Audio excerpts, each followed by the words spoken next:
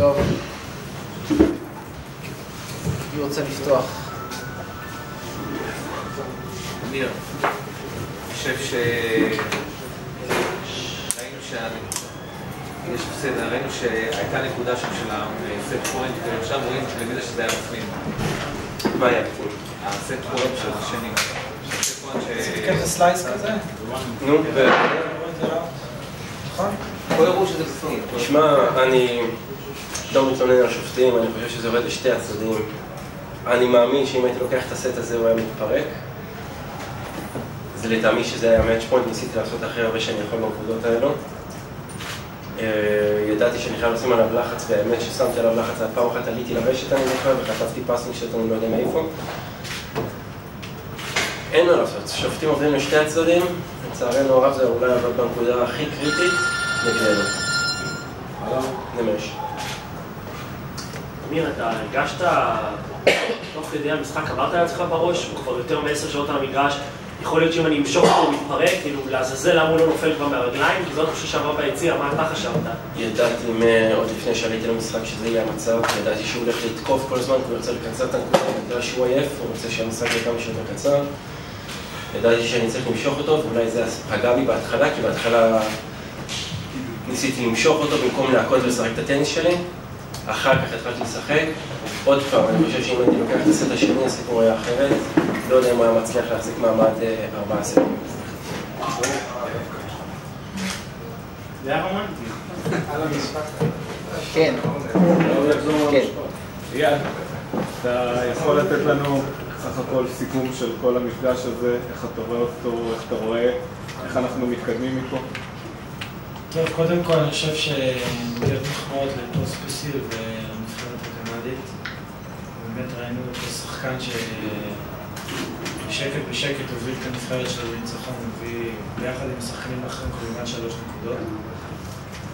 אני חושב שגם לנבחרת שלנו אה, מגיע המון קרדיט, אה, במבחן התוצאה לא עמדנו אמנם, אבל בכל היתר לדעתי עמדנו יפה מאוד, זאת אומרת, היינו שווים אולי עוד סט אחד, ואיך תדע מה היה קורה אם היינו עושים את זה, אבל אה, נלחמנו, השחקנים שלנו הציגו טניס טוב, עשינו כל מה שאנחנו יכולים, אה, ו- וכמעט, כן, כמעט חזרנו לבית העליון, אבל אה, אין כמעט, אתה יודע, יש בטניס אה, או שמנצחים או שמפסידים, וזה, אנחנו מוכנים לחיות עם זה, כי גם ניצחנו בעבר ואנחנו עוד ננצח בעתיד. צריך לצאת מפה מעודדים בסך הכל. אנחנו קרובים לחזור לבית העליון, שנה הבאה תהיה לנו שוב הזדמנות, אה, יש עוד הרבה זמן להתכונן. מה שהשחקנים צריכים לקחת מהעשרה הימים האחרונים, אני חושב, אמיר, אם זה הניצחון הגדול שלו על ראוניץ', איך שהוא שיחק היום, הוא שיחק מצוין, ובאמת היה קרוב לקחת את הסט השני והמשחק היה יכול להיפתח. אני מאמין ורוצה שהוא ייקח את זה לכל העבודה שהוא עשה שם על המגרש, הוא, דודי, גם אנדי ויוני. התאמנו הרבה, עבדנו נכון, כושר, טניס, פיזיותרפיסט, רופא, מטפלים בהם, וזה צריך לתת להם הרבה דלק לשבועות הקרובים, יכול להיות שעכשיו הם קצת מרוקנים בגלל ההפסד, אבל אני מקווה שזה ייתן לאמיר ביטחון וגם ליתר השחקנים, ובאמת אה, יחזיר להם אה, את הרעב ואת החשק להצליח בטור, ואחר כך להביא את זה איתם למפגשים הבאים של גביע דייוויס. עוד שאלות? שאלה לאייל, בבקשה. אחרי אוסטריה ישבנו ותהינו איך לעזאזל לחזור למצב של לעלות שבבית העליון עם כל הנסיבות האלה של נבחרת יחסית בינונית, שחקנים מבוגרים.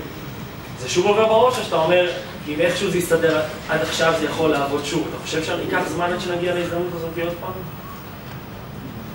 ההזדמנות תחזור אה, שנה הבאה. זאת אומרת, אין משחק אה, בקרוב, כן? אבל היא תחזור הכי מוקדם שהיא יכולה לחזור. תהיה הגרלה אחרי הגמר בדצמבר, נדע עם מי אנחנו מתמודדים, נתכונן.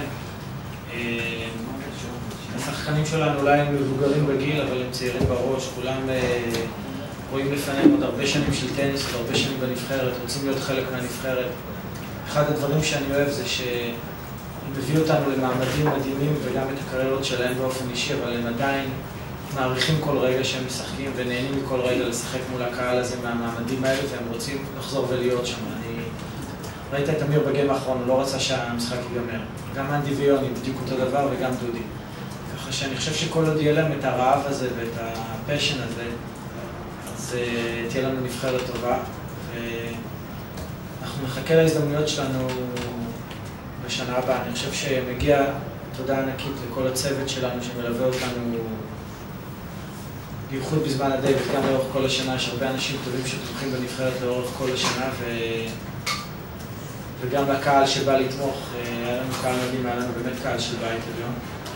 ואני מקווה שנצליח להתחבר שוב ביחד בשנה הבאה ולהתקדם קדימה. יש תחושה אבל שפספסנו פה הזדמנות גדולה מאוד נגד נבחרת שגם הייתה באופן כללי נוחה על הנייר וגם השחקנים הטובים שלנו היו כשירים.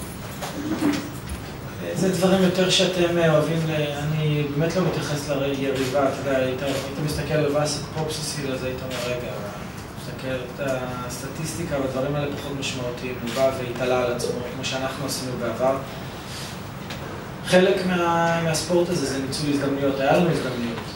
המפגש הזה, לא ניצלנו אותם מספיק, זה היה, ההבדל, ההבדל בין, אה, לפעמים בין ניצחון להפסד מאוד קטן.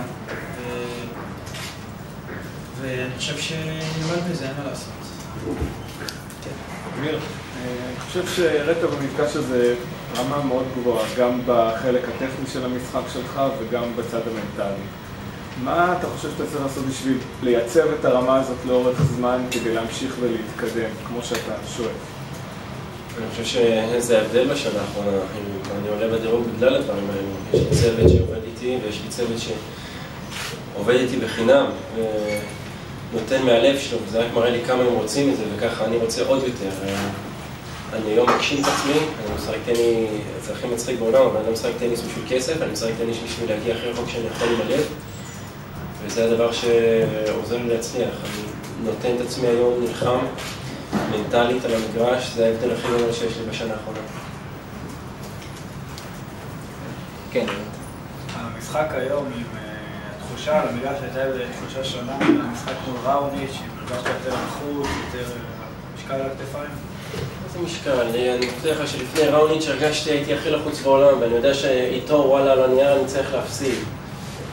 גם פה אתה עולה בסדר, אז הוא יותר מדורג יותר גבוה, אבל זה כבר לא, זה כבר מעבר, אתה כבר על המגרש, אתה לא חושב על... אני מתכוון על המשחק החמישי, כאילו. אוקיי, אתה על המגרש, אתה, נכון, אתה לחוץ לפני המשחק, אתה על המגרש, אתה כבר חושב נטו על הנקודה הבאה, אתה כבר לא חושב שזה 2-2. גם אם זה היה עכשיו 3-1 הייתי עולה ולחוץ ורוצה לעשות את ה... אתה לא חושב על התוצאה, אתה חושב על איך אתה יכול לנצח את המשחק, אתה חושב מה, מה אתה יכול לעשות בשביל לפגוע ביריב. תזכיר אותך שדווקא במפגש כזה שנתת שני משחקי התפרצות בצרבות הנקראת לא ולא עבר לנבחרת? לא, מה, אני... אנדי ויוני ודודי עושים עבודה שאני לא חושב שאי פעם הנבחרת שלנו אי פעם עשתה כזה דבר. אני חושב שהם לטעמי השחקנים הכי מגובשים והכי טובים שהיו לנבחרת. אני לא ראיתי, אני לא ראיתי מדינה כמו ישראל הרבה בבית עליון, אני לא ראיתי מדינה כמו ישראל בחצי גמר, ועם כל הכבוד זה שלושתם, נכון, הראל ונועם עשו את העבודה שלהם גם, אני חושב שזה חמישה שחקנים ש... תשמע, להוריד את הכובע בפניהם, אין, אין מילים אחרות, פשוט להוריד את הכובע בפניהם, ואני בטוח שהם גם יעשו את זה בעתיד. אמיר, אתה יוצא אחרת מבחינתך, אחרי שתי התצוגות היפות האלה, יוצא אחרת, טוב יותר, בטוח יותר בעצמך אחרי המפגש הזה? כי היית בכושר טוב, אבל בכל זאת. אין ספק, אני משחק טניס טוב סך הכל, אני סך הכל מאוד מרוצה מההופעה הראשונה שלי, היום טיפה פחות, אבל אני מאוד מרוצה מהמלחמה ואני מאוד מרוצה מהעבודה ואני רואה שהעבודה משתלמת. בסדר, הפסדנו, אין מה לעשות, אנחנו נבוא, נהיה חיות עוד פעם שנה הבאה ונבוא לנצח שוב ולתת הכל. מה התוכניות אה, להמשך העונה? אה, עכשיו בשבועיים הקרובים אני טס ביום רביעי לנסות לטוס לשתי ATP מוקדמות, שזה בבנקוק וטוקיו. אני רוצה קצת אה, לנסות ולעבור מוקדמות בתחרות היותר גדולות. אחר כך אני חוזר לארץ לשבוע, ואז אני טס עוד פעם, חוזר לסבב של הצ'אלנג'רים, אני טס לדרום קוריאה לשבוע, ואחר כך אני כבר לא יודע מה יש בלוח תחרות. יש לי עוד שאלה. מתחילת השנה ניהלת טור שהוא- גם סוג של בלוג בגלובס, וקיבלת על זה הרבה תגובות גם בארץ, גם בחו"ל, אנשים מאוד נהנו לקרוא את זה כי זאת זווית אחרת ממה שרואים בדרך כלל, שזה הטופ של הסבב. מה הטור הזה נתן לך? תשמע, קודם כל זה כיף, אתה מקבל אה, אהבה, עוד פעם, כמו שאני מקבל מהקהל פה, אני סך הכל אני מקבל תגובות אה, מאוד יפות בטור. האמת ש...